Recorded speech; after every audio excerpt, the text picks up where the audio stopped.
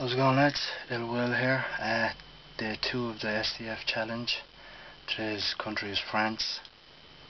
I thought I was going to have a lot of trouble picking um, today's country. Um, I thought everyone was going to be picking um, weird pseudo snuff films that I never heard of in my life.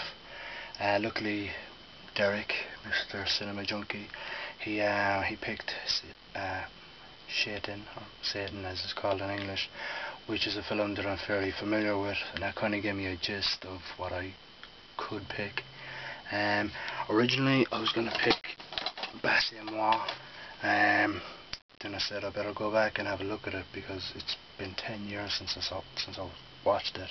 I got it when it first came out back in 2000, 2001, um, and I loved it back then. Like, um, I said down, sat down last night and I watched it now. It, it's still good. There's plenty of hardcore sex scenes in it and a couple of good kills. Um, a couple of good heads getting blown off and a guy gets a gun shoved up his arse and stuff like that. But it's not as bad as I remember it to be. So uh, I don't think I'll pick that.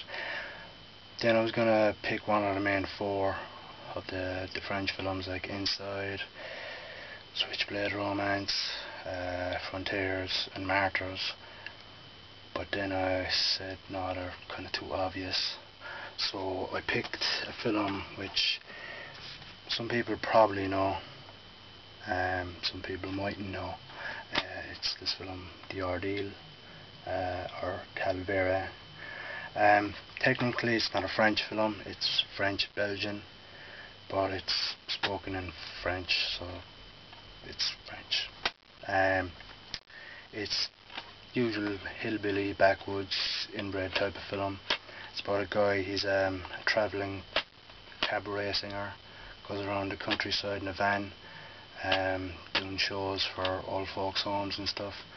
Goes to this old folks home up in the mountains in the middle of nowhere. Uh, coming home that night, van breaks down. To go to this village and stay overnight and then in the innkeeper is nice guy but a bit weird and a bit too nice. Tells him, oh, you stay here and I'll fix your car. And I know it's your man, he doesn't fix the car, he fucks it up even more.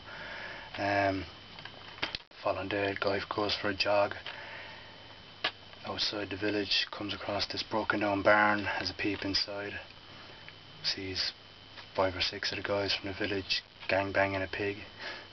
Um, and for some reason there's no women in the village either. There's some sort of a curse or some old um, some old thing where they don't have women in the town or they sacrifice the women or something like that. And the innkeeper misses his wife because obviously the same thing happened to her. And for some reason the cabaret singer guy reminds him of his wife so he takes him captive, ties him up, puts his wife's clothes on him, makeup, um, and violets him basically. Um, so from there on he tries to escape and not only does he have to escape him but he has to escape the villagers as well. Uh, really good film. One scene that just a random scene, it's really freaky. It's in my favourites if you want to have a look at it.